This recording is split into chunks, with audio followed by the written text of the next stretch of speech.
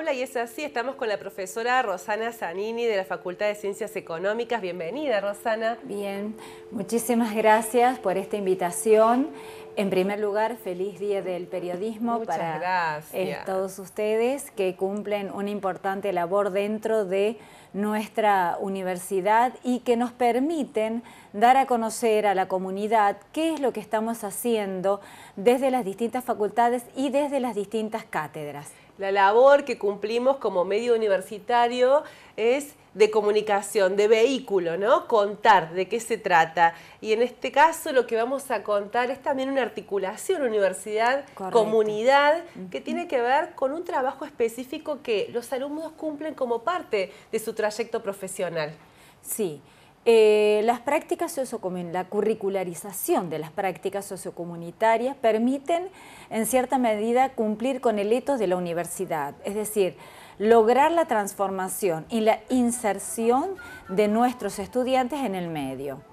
Las prácticas sociocomunitarias lo que hace es, eh, una concepción basada en el aprendizaje-servicio, es decir, es el, al alumno que le posibilita desde las distintas asignaturas, eh, le posibilita el desarrollo de distintas capacidades, de distintos procedimientos, pero in situ.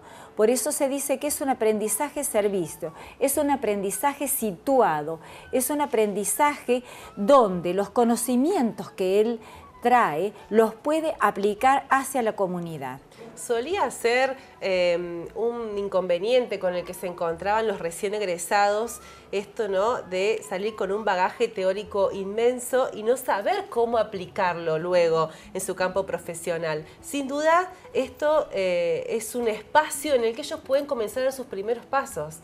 Exactamente. Eh, ¿Qué es lo que nos permite en primer lugar a los docentes? Voy a partir desde los docentes eh, nos permite el desarrollo de docencia, investigación, extensión. Muchas veces está la concepción que eh, la universidad no se acerca al medio. Es una concepción en la cual no sé por qué se tiene, cuando en realidad no es así. Porque desde distintas facultades, y yo hoy día vengo representando la Facultad de Ciencias Económicas, pero desde las distintas facultades eh, nos estamos acercando permanentemente a ese medio. Como vos dijiste, al estudiante ¿qué le permite? Que todos esos conocimientos que tiene y que de repente tiene temor al enfrentarse a ese futuro inmediato, el poder desarrollar sus propias experiencias siendo estudiantes y siendo acompañado por nosotros, los docentes. Por eso digo, ¿qué es lo que nos permite a nosotros y como gran satisfacción? Acompañar al estudiante en ese proceso, que siendo estudiante pueda desarrollarse en una actividad para lo cual está siendo preparado. Actualmente en nuestra facultad se está desarrollando en la cátedra de la cual eh, tengo la gratificación de ser la profesora responsable en análisis e interpretación de estados contables, que si se quiere es la última contabilidad de los chicos de quinto año de la carrera de contador público, pero también me acompaña eh, en esta aventura, como yo digo, como docente, la este, profesora Norma Biase a través de su asignatura Evaluación de Proyectos. Son alumnos también de quinto año. ¿Y qué es específicamente lo que están haciendo en estas prácticas sociocomunitarias? Bien, en las prácticas sociocomunitarias eh, nuestra universidad lo tiene por estatuto, eh, donde deben cumplir 30 horas de reloj de trabajo como mínimo. Pero yo les puedo decir que son mucho más de 30 horas durante un cuatrimestre. Eh, no obstante, puede también continuarse, como en mi caso, que yo dicto asignaturas en ambos cuatrimestres, lo voy a continuar en el segundo cuatrimestre con estos alumnos. Eh, ¿Qué le permite o cómo? Nosotros los estamos desarrollando en cooperativas. Actualmente estamos trabajando con tres tipos de cooperativas. Eh, la primera cooperativa, y a la cual agradezco infinitamente, fue la Cooperativa de Trabajo al Toque, que nos permitió desarrollar esta experiencia. Luego se eh, nos eh, incorporó la cooperativa COPEF de Educación Física y actualmente la cooperativa FM Libre. Los alumnos eh, desarrollan sus actividades en base a necesidades que posee la cooperativa. se hace lectura de esas necesidades, Exactamente. se las manifiestan las, las propias personas que Correcto. pertenecen a instituciones y desde allí se establece qué es lo que hace falta, cuál es eh, la información, los datos que Por ejemplo, eh, si me permitís, eh, primero se tiene por supuesto una entrevista con los miembros de la cooperativa acerca de que, qué necesidades ellos tienen de tal manera de los alumnos poder responder, porque los alumnos están capacitados ya. Son alumnos, estamos hablando de quinto años avanzados. avanzados, que tienen todo el bagaje de conocimientos y de prácticas, los cuales les permiten desarrollar esas experiencias, pero en, en un contexto real, porque de repente en las, en las aulas uno puede efectuar una simulación, pero no es lo mismo encontrarse en un contexto real.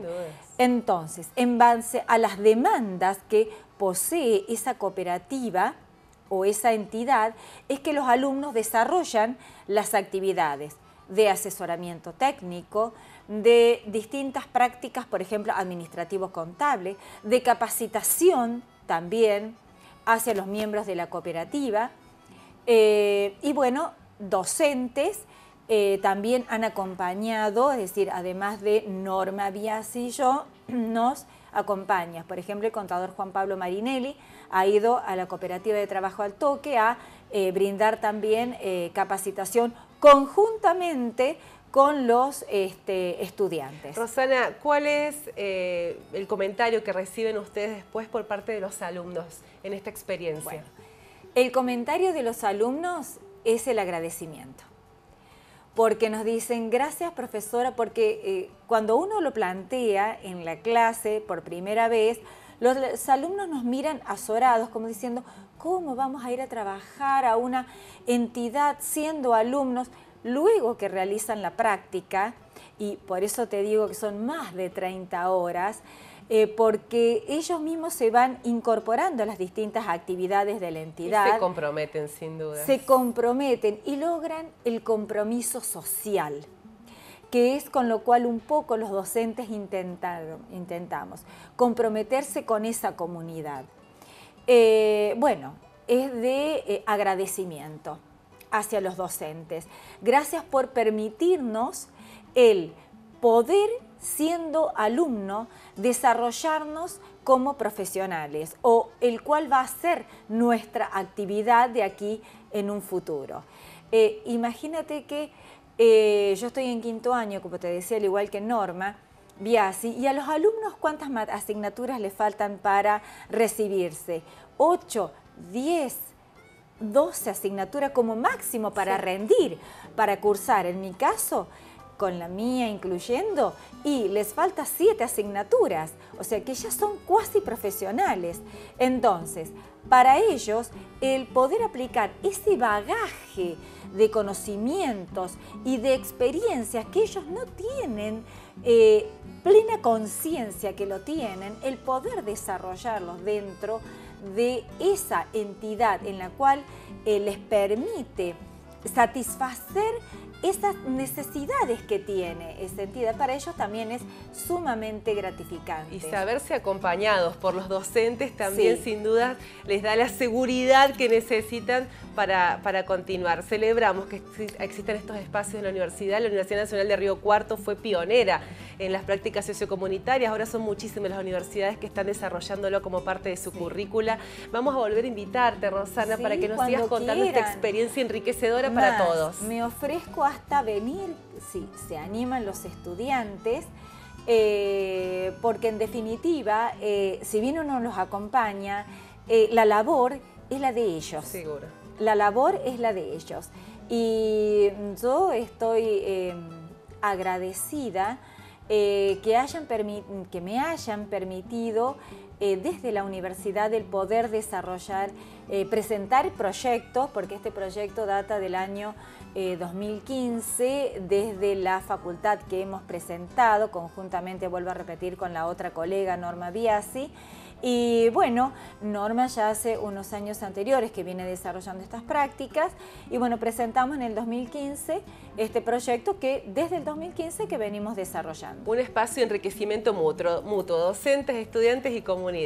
Muchas gracias. Rosana. Gracias a ustedes por permitirnos el dar y difundir lo que estamos haciendo humildemente desde las distintas asignaturas. Gracias por contarlo. Gracias.